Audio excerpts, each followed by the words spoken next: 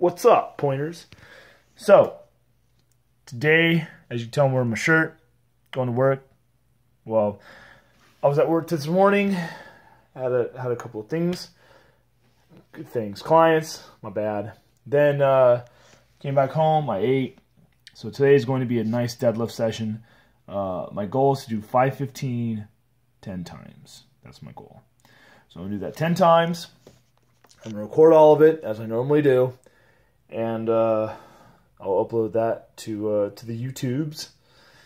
And that'll be that. So I look forward to my my good deadlift session. I have my my meal is uh is over there to my locker at work.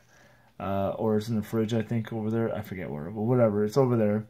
So all I got to do is show up, take my pre-workout, and we're going to hit that 10 times a day. Yeah.